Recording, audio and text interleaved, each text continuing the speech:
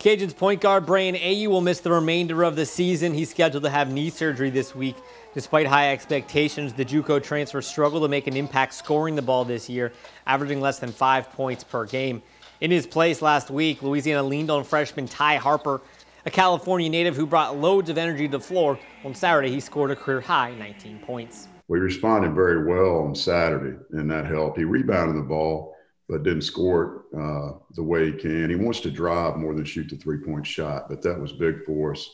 And uh, hopefully he's more comfortable. That was his second start uh, with us, and uh, we're going to need his play moving forward, that's for sure.